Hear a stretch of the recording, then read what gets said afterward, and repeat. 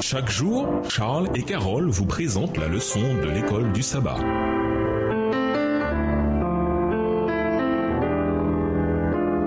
Bienvenue à votre émission. Dieu nous parle. Nous voilà la leçon de jeudi, l'importance de l'éducation. Lisons Esdras 7, versets 6 et 10. Qu'enseigne ces textes sur l'importance d'une éducation religieuse adéquate? Esdras 7, les versets 6 et 10. Cet Esdras vint de Babylone. C'était un spécialiste de la loi possédant une connaissance approfondie de la loi de Moïse que l'Éternel, le Dieu d'Israël, avait donnée à son peuple. L'Éternel, son Dieu, était avec Esdras, si bien que l'empereur leur accorda tout ce qu'il demandait. Verset 10. En effet, Esdras prenait grand soin d'étudier la loi de l'Éternel et de l'appliquer, ainsi que d'enseigner les lois et le droit aux Israélites. La dévotion sans réserve d'Esdras envers Dieu et sa décision d'étudier, de pratiquer et d'enseigner la parole de Dieu, Esdras 7, versets 6 et 10, l'ont préparé à un plus grand ministère en Israël. Le texte biblique dit littéralement qu'il avait appliqué son cœur à étudier la loi du Seigneur pour la mettre en pratique et pour apprendre à Israël les prescriptions et les règles. Hélène. White nous donne un éclairage important. Descendant d'Aaron, Esdras reçut une formation de prêtre, mais il se livrait aussi à l'étude des livres des magiciens, des astrologues et des sages du royaume médo-perse. Cependant, il n'était pas satisfait de son état spirituel. Il désirait ardemment vivre en pleine harmonie avec le Seigneur et soupirait après la sagesse d'en haut, afin de pouvoir accomplir la volonté divine. Il appliqua donc son cœur à méditer et à mettre en pratique la loi de l'Éternel. Ceci le poussa à étudier sérieusement l'histoire du peuple de Dieu, telle qu'elle est rapportée dans les écrits des prophètes et des rois.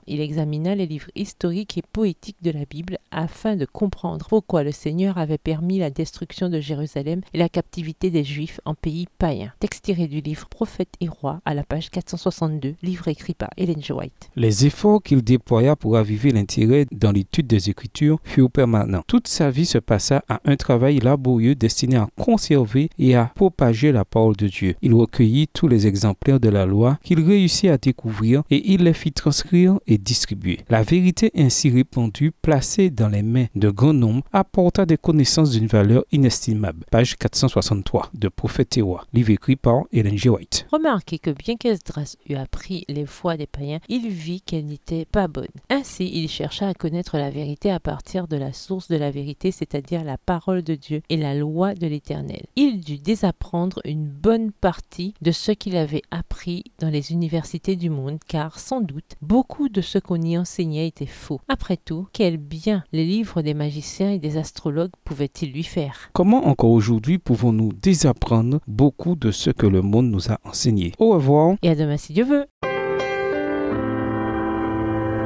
Dieu nous parle.